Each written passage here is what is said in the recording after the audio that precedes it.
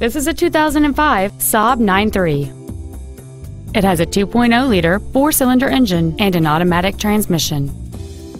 Its top features include leather seats, cruise control, full power accessories, a CD player, traction control and stability control systems, an anti-lock braking system, and it's easy to see why this vehicle is an excellent choice. Not to mention that this Saab qualifies for the Carfax buyback guarantee.